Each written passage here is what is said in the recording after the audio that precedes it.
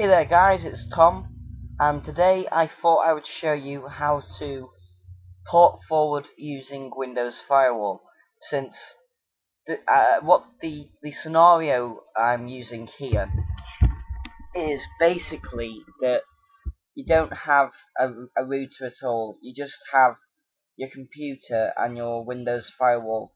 So literally that, I mean as in like literally that Windows firewall is the only thing that is protecting you from hackers and so forth.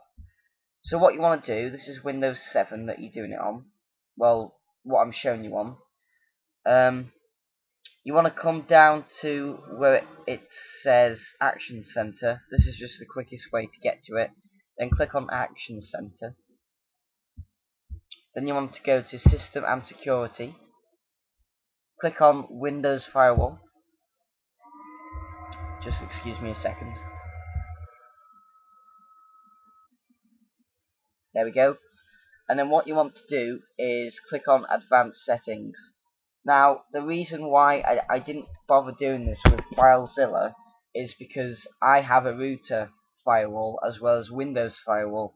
So really, it, it it's um it's alright for me to say just allow a program or feature through Windows firewall because when you do that, it means that the program can listen on any port and if a hijacker or something just somehow takes control of your computer using that program well pretty much you just I, I don't know you, you you know you're doomed. So it's better to have a much more stricter rule if Windows Firewall is the only firewall protecting you.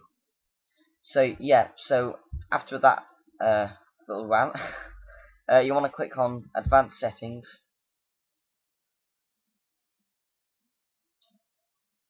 So here, um, I'm going to use FileZilla as an example, but you can do this with any port for any program that you may need for it to uh, listen on.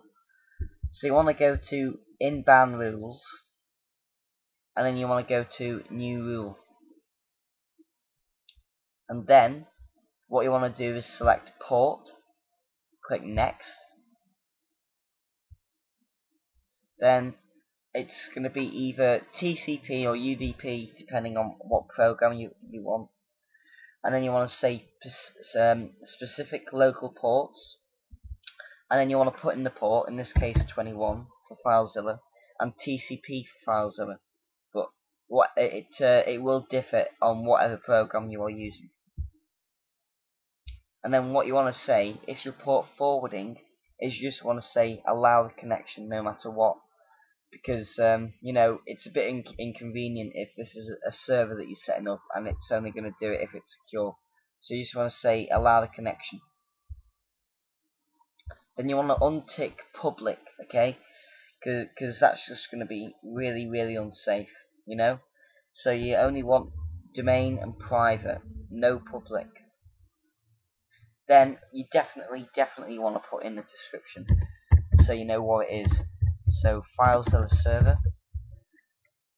Uh, so that you can put that as the name description whatever you want my server and then click finish. And then that's it really. So uh, yeah um, if we just go along here that that's the rule that I've just added in. So yeah and these are the rules that are in there because I said allow anything. Okay. Um, oh. Uh, that's the properties of it. So yeah, uh, when when you say allow, when you just go to say allow a program, um, it comes up with this. As you can see, it just says any port. But here, because we've actually defined it, it allows any uh, only 20 only port 21. Okay.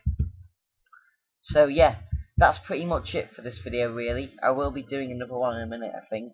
So yeah, I hope you I hope this helped you and I hope you all have a good day. I'll see you later. Bye bye.